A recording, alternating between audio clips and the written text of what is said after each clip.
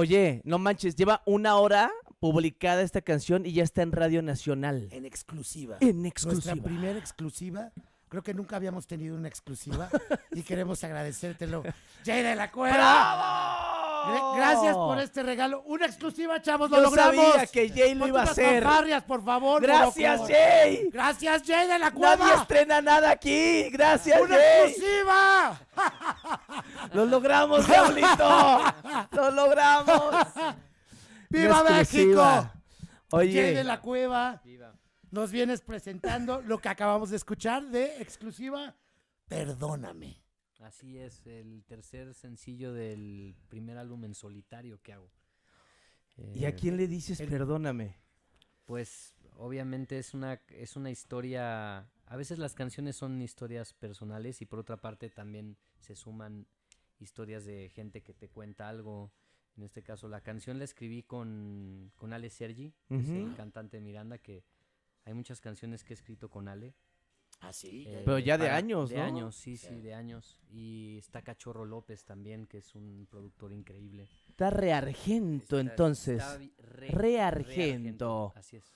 Y allí se dio entonces con el buen Ale Sergi. Con Cacho y este y con Pablo también, que fue uno de los coproductores del álbum. Hicimos un, un equipo, Un equipo, ah, equipazo, ¿no? equipo lindo.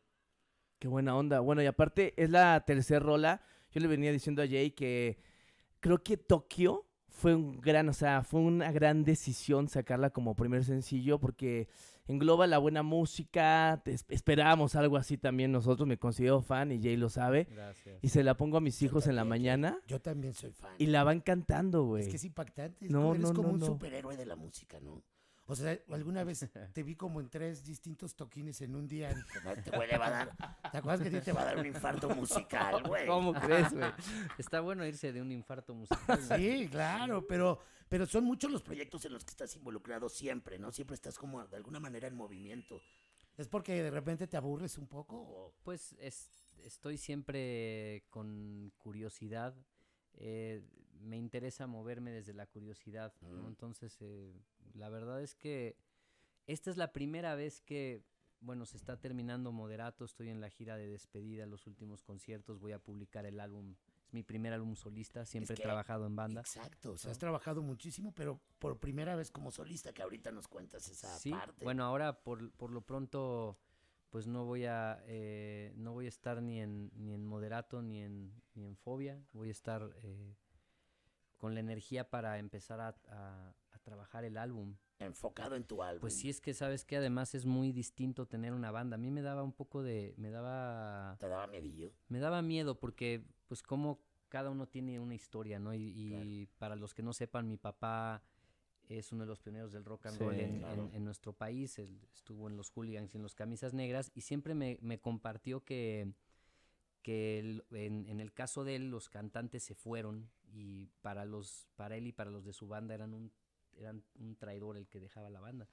Y como que eso se me sembró de niño y, y por alguna razón me daba, tenía, tenía como una cosa de entre miedo y como... No abandonar o no, dejar, ¿no? abandonar, eh, No soltar, Claro, también. Sí, y, y bueno, y también obviamente, no, no por justificarlo, desde el lugar donde al ser un multiinstrumentista siempre me ha gustado poder tocar distintos instrumentos, Claro. distintas bandas, y también celebro la diversidad musical y me gusta, me gusta mucho tocar en distintas bandas que se tratan las reglas y, lo- y el juego son distintos. Sí, Digamos Titán que- también era divertido, Digamos ¿no? que no hago una, en- no, no tengo una banda donde tocara, lo- o en las cuatro bandas tocara lo mismo y fuera el mismo género, pues sería, sería Claro. raro, son, son géneros distintos. Era un multiverso literal. Pues Oye, sí, ¿no? y- sí. y, de repente ahora no te sientes como medio solillo. Sí, la verdad es que eh, es un momento de, de cambios en, en mi vida y estoy vulnerable, estoy emocionado. Para mí es un experimento. Claro. Quiero ver qué va a pasar, pero comprometerme en este, el año del 2023. Yo todavía cuando empecé el álbum y empecé a escribir las canciones y todo, me imaginaba que iban a poder coexistir Ajá. los demás proyectos. Y Claro. me veía así, de- dije, bueno, pues organizo con mi manager. Uno el más, ¿no? el calendario y empiezo a hacer un disco solista y de repente en 2023 en, en- estaba en, en- de viaje en París, había ido a grabar la sesión en vivo de esto y hubo una revelación y dije, no, eh, creo que es momento de, de cerrar el ciclo de moderato.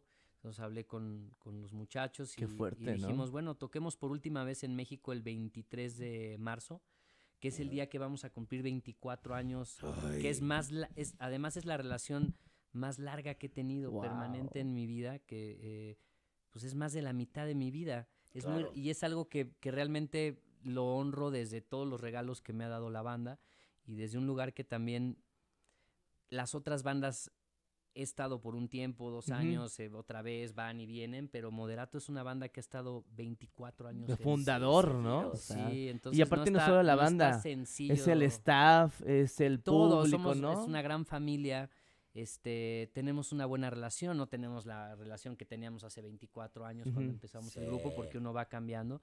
Pero bueno, hoy me siento ilusionado y tengo fe en el presente de, de, de que la música nueva que estoy haciendo me representa más como persona y como artista. Lo otro es parte de mi pasado y lo- Claro. lo, me encanta, pero, pero ya no- son es canciones que hice hace más- 20 años. Y aparte como solista, pues sin duda el proyecto prácticamente es muy, su- es mucho más personal, ¿no? Porque ahora sí eres tú solo y enfre- enfrentarte.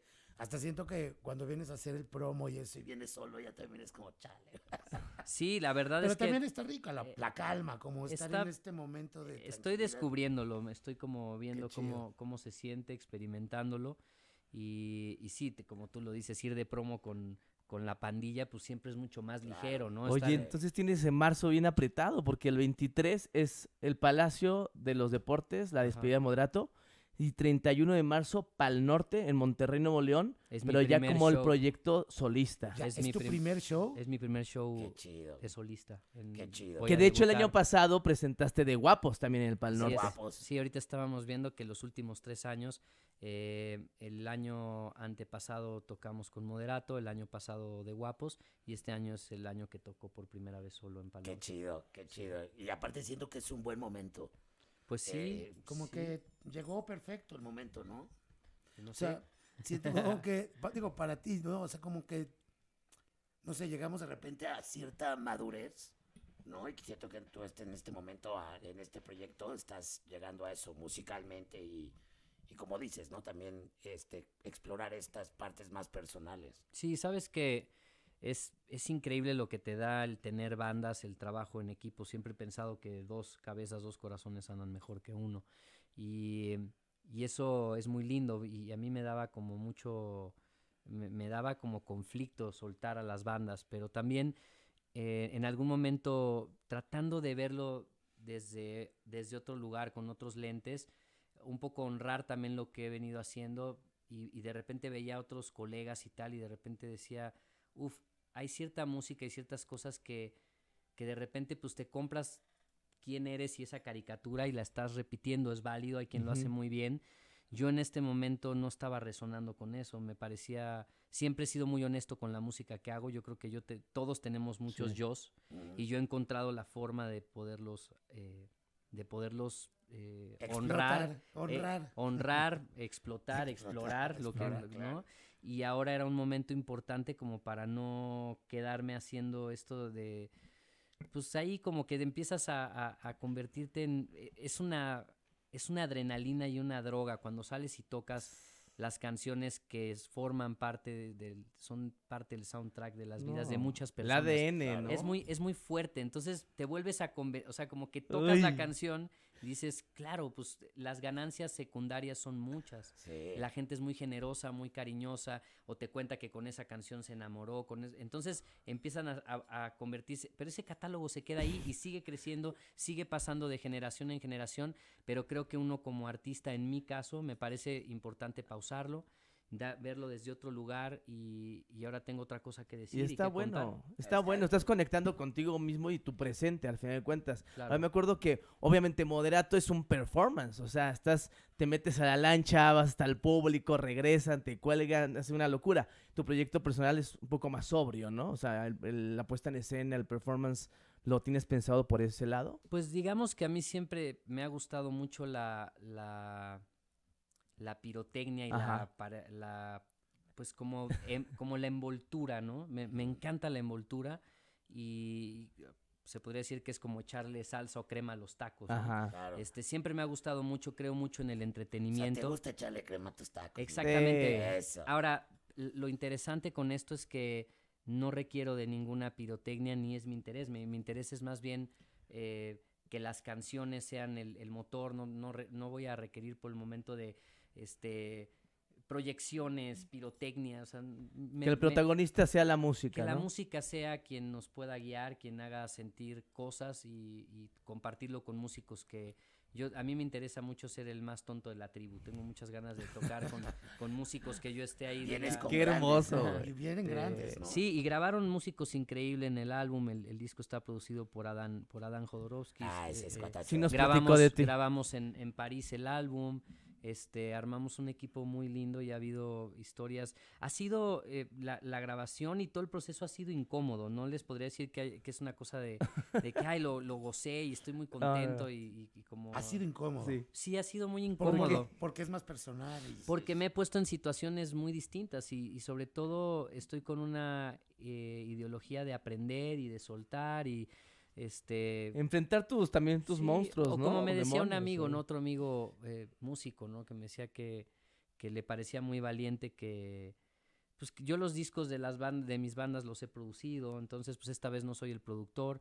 Yo quería estar otra vez como en la parte de ser artista, descubrirme, ver qué iba, de, o sea, qué tengo que decirle al, al mundo, ¿no? Compartir Claro. las canciones y ponerme en otra situación. De alguna manera, cuando estás con un, ins- un instrumento, también es como un poco tu escudo, ¿no? Sí. Y este, yo ya lo venía experimentando desde, afortunadamente con Moderato empecé a soltar mucho los instrumentos y me fui convirtiendo en, en- en un... Más en- un en- frontman. En, un front, como Sí. un em- un maestro de ceremonias que está, que está, eh, que soy el puente entre la banda y entre Y la gente, que es, que sí, increíble.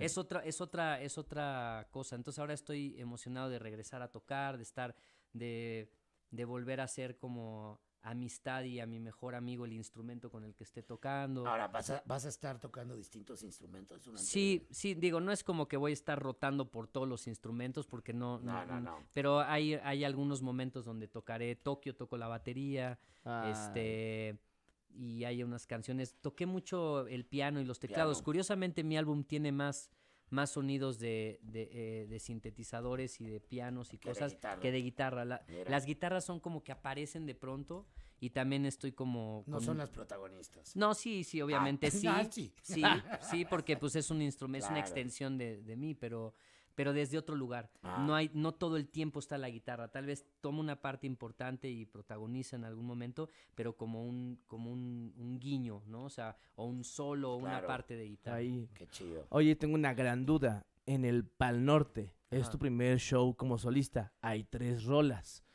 ¿Cómo lo rellenamos? Pues no, pues no, no, no se trata de rellenar, se trata ¿Qué de la hacemos? experiencia otra vez de tocar un álbum ¿Te vas a echar las sin que la gente lo conozca 12 rolas? y tener esta energía de que la gente esté escuchando. Es muy distinto, obviamente, a cuando conocen el catálogo. ¡Wow! Esa es una gran. Pero- presentación. Pero es, pero eso, también es como volvernos a sorprender con esto. Yo tocando ya. las Su- canciones. es su showcase. ¡Ay! Pues ¡Pal sí. Norte! Pero ya me dio nervios a mí. Ya quiero ir. No, Sí. quiero encontrarme con esas No, es, es un acto, eh, es un acto valiente, obviamente, Ajá. porque pues hoy puedes tener como mucho más un, un- bueno, y en el caso de mis bandas que tienen un catálogo increíble y sales y más bien nosotros tenemos que ver cuál quitamos del set list, o sea, Claro. que no sean Decidir. canciones, sí, sí es, es difícil. Ahora, en este caso es, pero me recuerdo a, me recuerda también a mis inicios, así empecé con, con Molotov, cuando empezamos la banda, Sí. tocábamos el, el- bueno, el, el disco que se convertiría en donde jugarán las niñas, lo tocábamos, obviamente iba tomando fuerza, que iba de boca en boca. Ahora, bueno, lo puedes amplificar con las redes, con otras cosas. Ya hay tres sencillos, Sí. ¿no? Tampoco es como que no hay ni una canción o que no se conozca.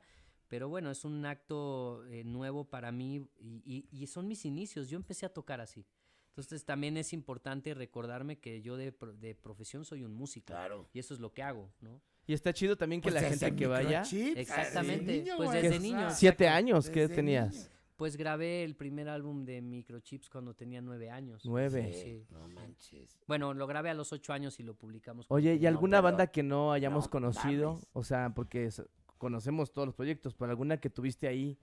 Y Hay que... dos bandas que, que tuve que me, que me gustan mucho, que una son Los Odio. Sí. Los con, odio. con- Sí, con cierto. Paco. Había chicas, ¿no? En los odio. ¿o No, no, no. Ah, era no. Paco Huidobro, Sí, ¿no? Paco, eh, Quique Rangel de Tacuba y. Tito de Molotov y Tomás Pérez Sí, Asensio y yo. Sí, está chida esa. Y eso como que también salimos a tocarlo, fuimos a Argentina a tocarlo una vez, tocamos un par de festivales, lo que luego se convertiría en el Corona Capital, lo tocamos la como la segunda o tercera edición. Órale. Es que qué Y sí, diversión. Y, luego otra banda band. que, es- que, que estoy de, que estaba de invitado que se llama Mexrissy, que son canciones de Morrissey en español, y eso nada más lo hemos tocado en, en Inglaterra, en Australia y en, bueno, en Europa en realidad. En Europa. Sí, Y Los Ángeles. Azules. sí, bueno, lo- mi colaboración con Mis Ángeles Azules, que es increíble y que... Pero es hermoso a- porque te invitan a todas las fechas, De hecho, ¿no? de hecho Sí. estoy, estoy esta gira, eh, voy a estar casi toda la gira de los Estados Unidos, voy a estar tocando con Los Ángeles Azules. ¿no? Y bueno, ya he hecho otras giras con ellos en Estados Unidos y en Sudamérica. Y es otra vibra, ¿no? Es otra... Es muy lindo. Además es increíble ir a tocar, voy a tocar la última canción, salgo en la última Qué belleza. rola, ¿no? Qué Este, belleza. no hay que, sí, Es nada un- más a- Es un apapacho enorme. cenadito, ¿no? Ya, Ya- cenadito. aunque te quedas, te quedas con muchas ganas de tocar, que es como tocar querer, más. sí, Ah, sí, sí, eso sí. sí. ¿A dónde me voy? Ya, sí. ¿A dónde me jalo? Ay, ¿dónde es el after, no? Oye, yo, eh, mucha gente te debe pedir cuando vas a alguna boda, alguna fiesta, de que Sí. tú puedes subir y puedes cantar una. ¿Lo has hecho? Claro, sí. ¿En sí, bodas? amigos, ¿Así? ¿no? Sí, ¿De cameo? Pues sí, es que obviamente eh, cuando tengo la, un- es difícil con mi calendario, casi nunca puedo ir a alguna boda de amigo o amiga, pero cuando voy, pues eh, obviamente están están ahí varias de nuestras canciones. Es Sí. muy es muy lindo, ¿no? Son, Es lindo. son parte de la, de la cultura mexicana. No, Pues pues, ya un muy gay. ratote. Te honramos tu presente, te Gracias honramos por tus recibirme. bandas, la neta. Muchas gracias. Siempre Gracias. dándonos buena música. Y bueno, presenta. Nos vamos con tu rola. Sí. Y Bueno, mil gracias por venir. Gracias a ustedes, Entonces, gracias a los 40. Bueno, nos vemos en Pal Norte. Nos vemos en Pal Norte. Y No bueno, el manches. Palacio de los Deportes, ¿no? Sí. No manches, entonces seguimos con la exclusiva. Sí. No, es una primicia, es, una Es así. Una exclusiva. doble exclusiva. Acaba de sonar y Jay va a presentar su canción en los 40. Adelante, Jay. Exclusiva. Bueno, a las 6 de la tarde, hace unas horas, horario México, se estrenó el tercer sencillo de mi primer álbum solista, que el álbum saldrá el 26 de marzo. Por lo pronto ya está, perdóname ahí, por favor, escuchen y les mando un abrazo grande. Hasta siempre. ¡Ea! Jay de la Cueva en los 40.